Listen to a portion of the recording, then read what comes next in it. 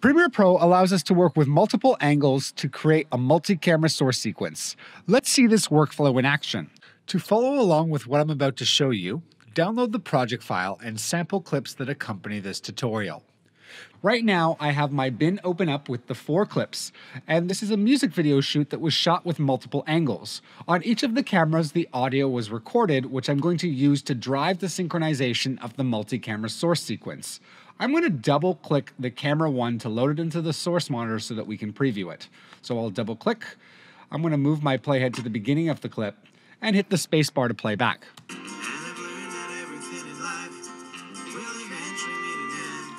I'll stop playback. Now I'll double click camera 2 to load it into the source monitor.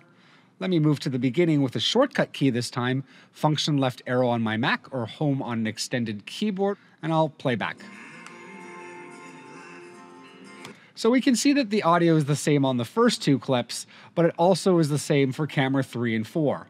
In the project panel, I'm going to click in a gray area and hit Control A on a PC or Command A on a Mac to select all of the clips. By control clicking one of the clips, I'll get a contextual menu where I'll choose to create a multi-camera source sequence. A dialog box appears, naming your multi-camera source sequence multicam. The multi-camera clip needs a synchronization point we can use either in points, out points, or time code to drive synchronization.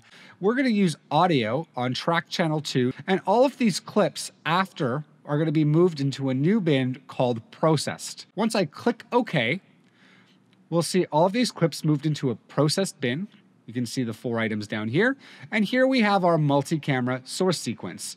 I'm going to select this clip and drag it onto the new item icon to create a new sequence from it. Inside the sequence, I'll hit the backslash key in order to fit the clip to the window.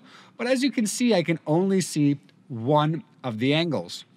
In order to see multiple angles, I'm going to go to my settings menu, identified by the wrench icon, and choose to move from composite video over to multi-camera.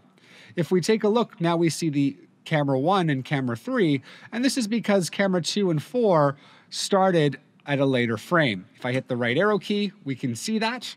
Let me move my playhead back to the beginning of the sequence. From the settings menu, first of all, note that multi-camera audio does not follow the video, which is exactly what we want in this case, meaning that the audio will remain on the camera one track. Next, we also have the ability to edit cameras. You can see that we can switch camera order. I'll take camera 4 and drag it in between camera 2 and 3. Since this is not what I want, I can hit cancel to undo that command. In order to start cutting in my multi-camera clip, I'm going to use shortcut keys. So the one, two, three, and four, whether on a laptop or an extended keyboard, will cut between each of your angles. To start cutting your multi-camera clip, move your playhead to the beginning of the sequence, and let's hit the spacebar to play back. I'll hit the 4 key. Notice how this follows. I'll hit 3, followed by 2, and 1.